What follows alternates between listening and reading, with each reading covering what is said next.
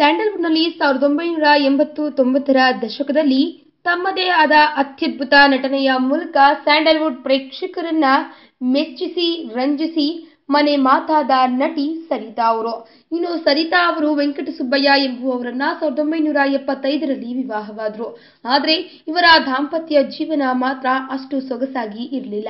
ಆದ ಕಾರಣ ಮದುವೆಯಾದ ಕೇವಲ ಒಂದೇ ಒಂದು ವರ್ಷದಲ್ಲಿ ಅಂದ್ರೆ ಸಾವಿರದ ಒಂಬೈನೂರ ಎಪ್ಪತ್ತಾರರಲ್ಲಿ ಆಕೆ ವೆಂಕಟಸುಬ್ಬಯ್ಯ ಅವರಿಂದ ವಿಚ್ಛೇದನವನ್ನ ಪಡೆದುಕೊಂಡ್ರು. ತದನಂತರ ಸಿನಿಮಾಗಳೇ ತನ್ನ ಪ್ರಪಂಚ ಎಂದು ಚಿತ್ರರಂಗದ ಕಡೆ ಮುಖ ಮಾಡಿದ್ರು.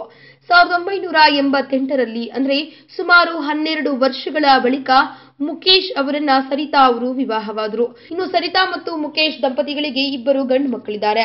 ಆದರೆ ಈಕೆ ದುಬೈನಲ್ಲಿ ನೆಲೆಸಿದ್ದಾಗ ಮುಕೇಶ್ ಅವರು ಆಕೆಗೆ ತಿಳಿಯದೆಯೇ ಇವರೊಂದಿಗೆ ವಿಚ್ಛೇದನವನ್ನ ಪಡೆಯಲು ಅರ್ಜಿ ಸಲ್ಲಿಸಿದ್ರು. ಇದಕ್ಕೆ ಸಮ್ಮತಿ ಸೂಚಿಸಿದ ಸರಿತಾ ಅವರು ಸಹ ಕೋರ್ಟ್ನ ಮೆಟ್ಟಿಲೇರಿದ್ರು. ಹೀಗಿರುವಾಗಲೇ ಅವರು ದುಬೈನಲ್ಲಿ ನೆಲೆಸಿರುವಾಗ ಮುಕೇಶ್ ಅವರು ಮತ್ತೊಂದು ವಿವಾಹವಾದ್ರು. ಆದ್ರೆ ಈಕೆ ಸರಿತಾ ಇದ್ಯಾವುದು ನನಗೆ ಗೊತ್ತೇ ಇಲ್ಲ. ಹಾಗಾಗಿ ಮುಖೇಶ್ ಅವರು ಮದುವೆಯಾಗಿರುವುದು ಕಾನೂನಿನ ಬಾಹಿರ ಒಂದು ಕೆಟ್ಟ ದೋಷ ಮತ್ತು ಲೋಪ ಎಂದು ಹೇಳಿದ್ದಾರೆ.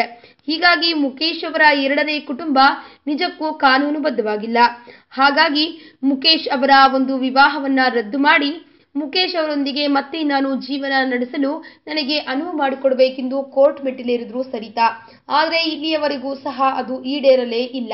ಮುಖೇಶ್ ಅವರು ತಮ್ಮ ಎರಡನೇ ಕುಟುಂಬದೊಂದಿಗೆ ಎರ್ನಾಕುಳಂನಲ್ಲಿ ವಾಸಿಸುತ್ತಿದ್ರೆ ಸರಿತಾ ಅವರು ಮಾತ್ರ ತಮ್ಮ ಇಬ್ಬರು ಗಂಡು ಮಕ್ಕಳೊಂದಿಗೆ ದುಬೈನಲ್ಲಿ ನೆಲೆಸಿದ್ದಾರೆ.